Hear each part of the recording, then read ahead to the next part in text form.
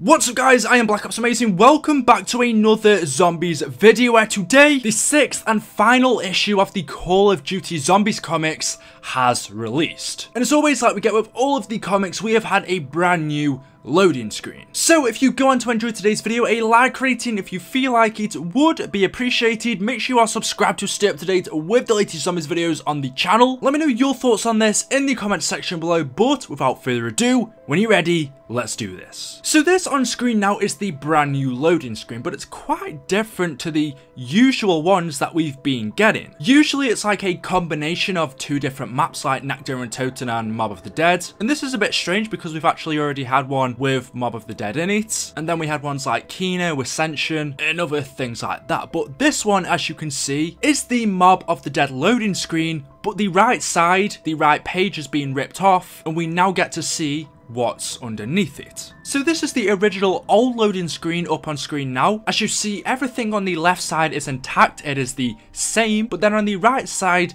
the page has been ripped, and underneath, we see this. Now I haven't done a read through of the comic on my channel, although I have read it for myself and some of this in here does relate and link to the comic, so if you haven't read it, then there's probably going to be a few spoilers. But taking a look at this, let's see what we have. Up the top right hand corner, we have a coil. I don't exactly know what this means or what it's saying, but clearly over the two characters just below it, there is a outline outside both of them. Whether this coil is relating to that, I don't know. If you guys have any idea as to what this coil could mean or what it's showing, let me know in the comments section below. But as I said, below this we have two characters. The one on the right, the taller one, looks like Richtofen, the Origins version, purely because you can kind of see the outline of his face and around his belt. I don't know, I'm just thinking that's Richtofen. And then on the left, the smaller character, the question is, who exactly is this? Now, obviously this loading screen is related to Mob of the Dead. And since we know that Richtofen met up with Stanley Ferguson, where Richtofen told the guard to build this lab underneath Alcatraz, I'm thinking that maybe on the left,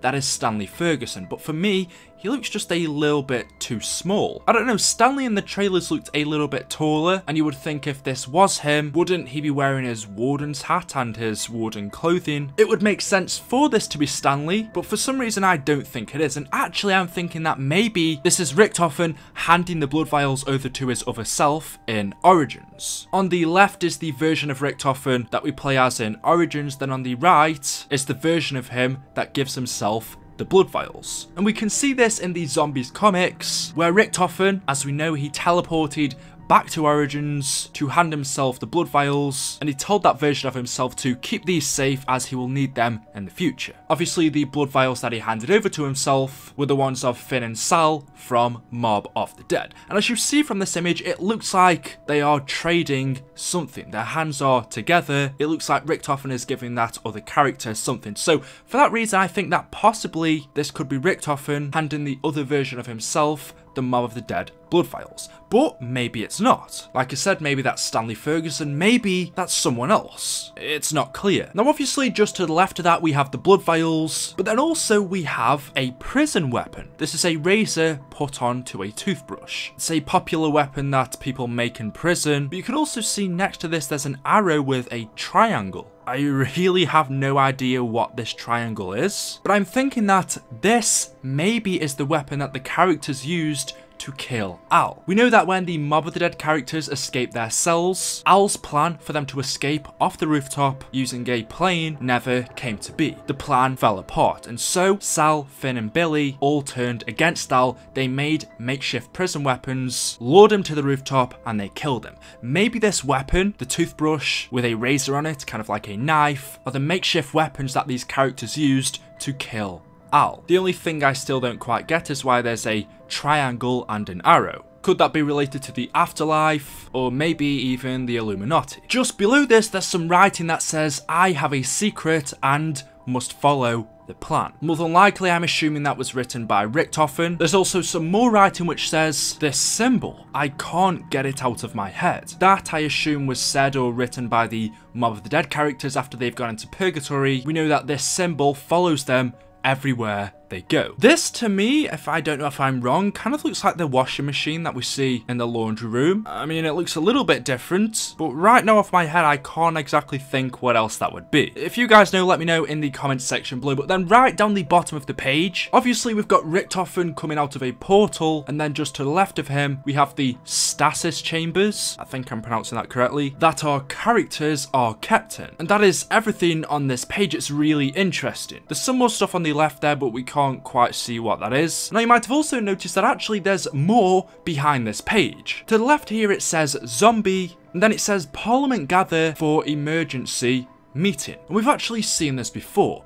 Under Eisendrache on the table, there is this newspaper about an outbreak in London, and that Parliament are gathering for a meeting. Now obviously we've had no London zombies map so far, we haven't really got anything else in zombies relating to London, so maybe this is hinting towards the next map. Possibly Black Ops 4, whatever the next Zombies game is, are we going to London? I mean, there's got to be a reason why Treyarch keeps showing us this. It's possibly just to show how big this zombie outbreak is, the scale of it, that it's happening all around the world, even in London, but I'm thinking there's a bit more to this. How cool would it actually be if we did go to London, if we maybe had a zombies map in Parliament for Black Ops 4, and considering that with every first map that we get for zombies, not everyone, but most of them with Black Ops 3, we had it with Black Ops 2, and even you could kind of say with Black Ops 1 on 5, we always have a different cast of characters, usually a celebrity cast or just some randoms. We never start off with the original crew, so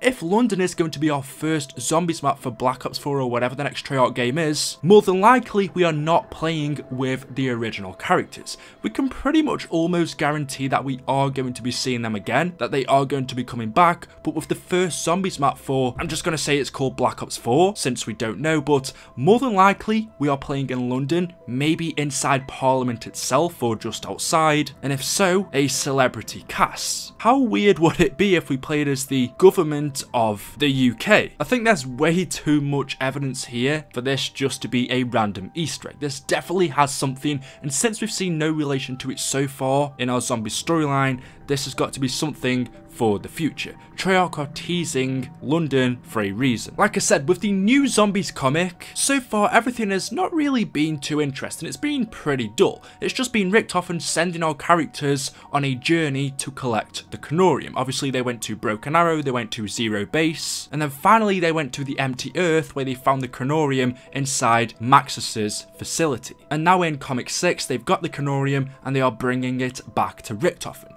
Obviously all this time, the voice in Stuhlinger's head has been guiding him and telling him what to do. We know that voice is Richtofen, but what you didn't know is which version of Richtofen is guiding Stuhlinger, and the answer to that is the one that we kill in the Giant. When the younger version of Richtofen comes out of the teleporter and the Giant to shoot his older self, we see him then bend down over his dead body. It's clear he doesn't collect his soul in the summoning key because Eddie was already a child in the house before that. So Richtofen, when bending down over his body, was actually doing something to himself to turn that version of him into Undead Richtofen. And we've been seeing all through the Zombies comics, this version of Undead Richtofen has been following the transit crew. Undead Richtofen has been guiding the transit crew, it helped them get the Kronorium, and then it also collected their blood vials and gave that blood to this version of Richtofen. And then once Richtofen had the blood, he travelled back to Origins to give a sample to that version of Richtofen. He then went back to the transit characters, put them on stasis, and whilst he was doing that, he also met the characters that teleported in Zetsubou no Shima. In Zetsubou no Shima, at the end, when we see our characters teleport after defeating Takeo, they teleported to Richtofen, where he gave them the blood vials, and then obviously they went back. It's all very confused and I think I'm going to have to do a video explaining all of this because right now I think it's a little bit too much to explain. I think the best way you can understand it is to simply just read the comic for now but even then there's still a lot more things that you have to join join together to fully understand it. it. It is really confusing. This comic gives us a ton of information. So anyway, that is everything off this new loading screen, the final one for comic episode 6. This has been really awesome, and this is pretty much it. Now that's all the new stuff we have for zombies for over another year. If you've enjoyed the video, a like rating would be appreciated. I think this definitely deserves it. Let me know what you think down in the comment section below. Try and explain a few more things that I couldn't. Make sure you are subscribed. We are almost at 270, no wait, wait, what? 370,000 subscribers, which is amazing. Thank you all for the support. If you're not subbed, you can help me to reach 400k. Leave a like rating, and of course, we'll see you all in the next video. Thank you, and goodbye.